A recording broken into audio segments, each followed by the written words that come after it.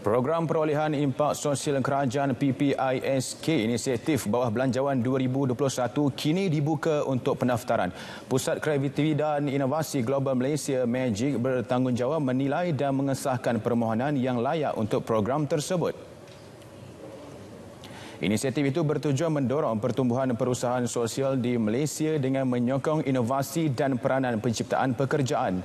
Perniagaan berimpak sosial kebanyakannya perusahaan mikro dan kecil turut berpeluang membangunkan keupayaan mereka daripada segi pelaburan masa depan. Pendaftaran untuk program perolehan impak sosial itu boleh dibuat menerusi pautan tertera. Permohonan yang lulus akan disenaraikan di laman sesawang Buy for Impact.